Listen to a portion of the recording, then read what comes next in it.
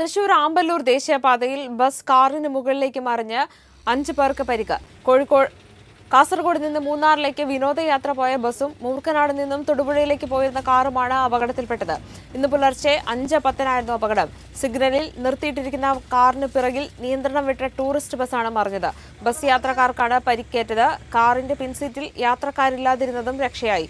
വേഗത്തിൽ വന്നിരുന്ന ബസ് സിഗ്നലിൽ നിർത്തിയിട്ടിരിക്കുന്ന കാറിൽ ഇടിക്കാതിരിക്കാൻ വെട്ടിച്ചതാണ് അപകട കാരണമെന്ന് ദൃക്സാക്ഷികൾ പറഞ്ഞു. പുതുക്കാട് പോലീസും അഗ്നിരക്ഷാസേനയും എത്തി രക്ഷാപ്രവർത്തനം നടത്തി.